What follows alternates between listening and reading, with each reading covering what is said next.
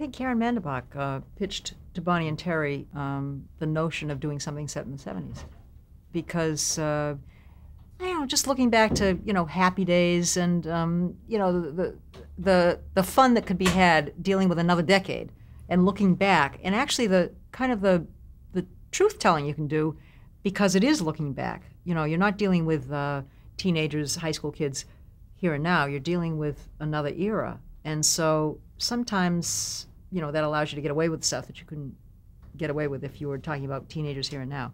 So um, Caryn pitched it to Bonnie and Terry as an area, and they developed the show. The characters were, again, more important to us, though, than the decade. The network, we thought in the beginning, was focusing too much on the 70s. And for us, it was really, it had to work on what was the core idea. And the core idea was about a boy and his, and his peer group, with the boy trying to, to um, pull away from his very strong father. So that was the center of it. Um, and uh, the decade was valuable, and we could do stories that um, maybe we couldn't do in 2000. But it was really based again on, on point of view, and it was very helpful. Again, it was a show set in the middle of the country. Um, mm. They picked uh, Wisconsin.